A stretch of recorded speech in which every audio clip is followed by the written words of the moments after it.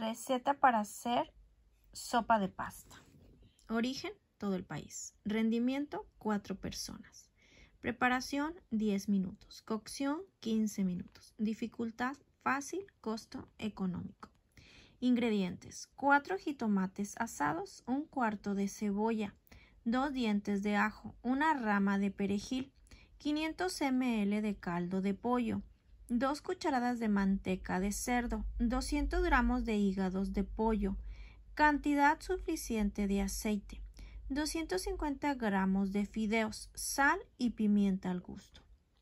Procedimiento 1. Muela los jitomates con la cebolla, el ajo, el perejil y el caldo de pollo. Cuele el molido. Ponga sobre el fuego una cacerola con una cucharada de manteca y vierta el caldillo de jitomate. 2. Fría en un sartén con la manteca restante los hígados de pollo. Córtelos en cuartos y añádanlos al caldillo cuando este último comience a hervir. Añada sal y pimienta al gusto. 3. Ponga sobre el fuego suficiente aceite en una cacerola y fría los fideos hasta que se doren ligeramente.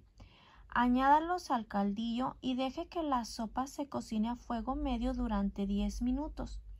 Añada más caldo de pollo o agua si lo considera necesario. Rectifique la cantidad de sal y retire la sopa del fuego en cuanto hierva de nuevo.